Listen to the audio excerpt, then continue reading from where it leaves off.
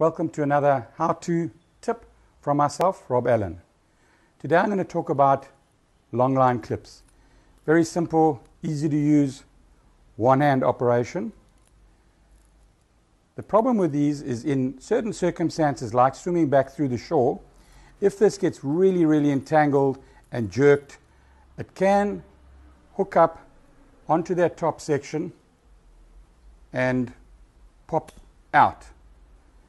It's very rare that this does happen, but in the right circumstances, it can force itself out, especially with weaker clips.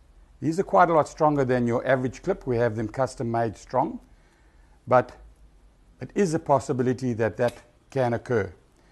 To prevent that, quite simple, short piece of bungee tubing, depress the clip, slide it over,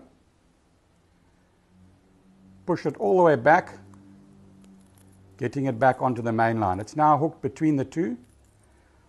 Once you've applied your float line, simply slide the rubber back down over the joint. Obviously in the water this is wet, so it would slide over much easier. And that's a safety.